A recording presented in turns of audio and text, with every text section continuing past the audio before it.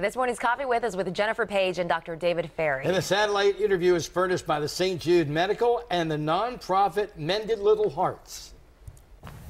Jennifer Paige, Dr. David Ferry, welcome to WJZ. How are you? Great, thank we you. are well. How are you? We're doing well. Jennifer, we welcome your son Max to WJZ all the time on The Young and the Restless. He's, uh, let me just let me just bring You the, do? Yeah, let me just bring the audience in line. If you don't watch the daytime dramas, you'll recognize Max from the second greatest Super Bowl commercial in history. A little kid that's Darth Vader, and he keeps trying to zap people, and finally he zaps the car. Dad's in there and hits the key fob, and the car lights up. Little kid almost strokes out. It's a great one, and uh, we're glad to hear that Max is doing pretty well. You and Dr. David bring the folks inside the ropes as, as to what's going on with his heart and other kids. Take it away. Oh, thanks for having us. Um, yeah, Max was born with a congenital heart defect called tetralogy of Fallot. And so one thing that being Reed Hellstrom on The Young and the Restless or this commercial have done is, is really help us have a platform to shed some light on congenital heart defects and how common they are, which I'll let Dr. Ferry talk about. But one thing we're super excited about is a partnership with Mended Little Hearts and St. Jude Medical, uh, the global device manufacturing company that makes Max's pacemaker and his artificial valve. They're joining forces to provide an online resource for, for families like me that when you get thrown into this diagnosis, what questions do you ask? Where do you turn for support? What are the resources available for you? And they're putting together a very comprehensive um, online resource for us, which is just something this community has needed for a very long time. So we're thrilled with that partnership. That, that, that- it's, it's a very important deal. Now, now, Dr. David, I want to bring you in here. First off, the name of Max's problem is really, it's confusing. It, I mean, it's not confusing, it's really bizarre. Tetralogy of Fallot? Yes, that's the name. It's named after Dr. Fallot, who I think was in France probably a couple hundred years ago, and it's it basically consists of a heart.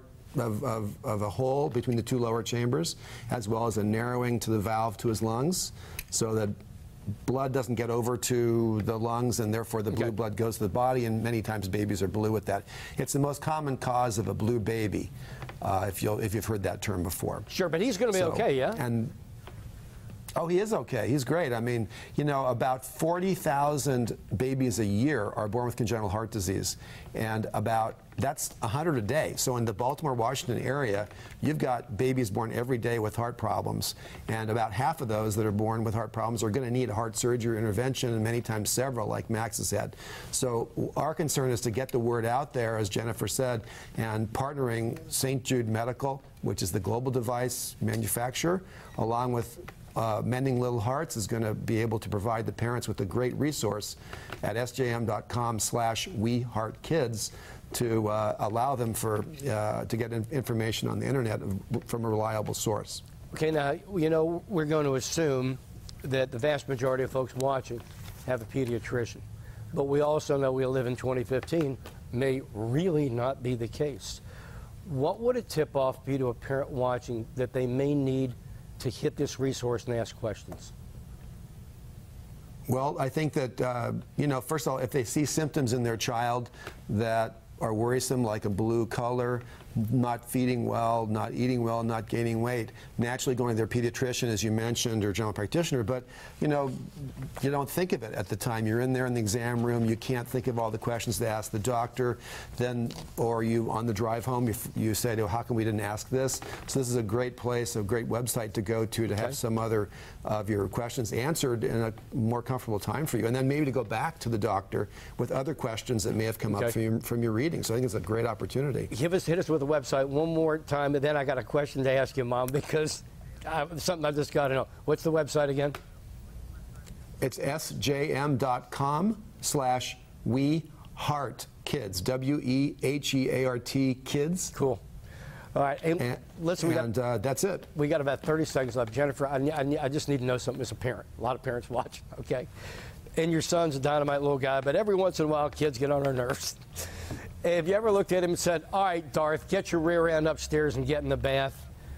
Or, hey, Darth, sit oh, down yeah. and eat your no, dinner. No, he's disciplined like everybody else. Everyone assumes, like, you would just give the kid the ultimate hall pass, but not the case. But if you ever, not the case for us. But Max you, is a, but if you a great called kid, him and we Darth, live a very normal life. But if you ever called him Darth, just Calling him Darth? Yeah. I don't call him Darth, and he doesn't put the force on me, so we're, we're pretty good. okay. Hey, listen, thanks so much for being with us, and uh, that's great info. Really appreciate it. Thank you. Thank All you right. very much. Out of sight. All right.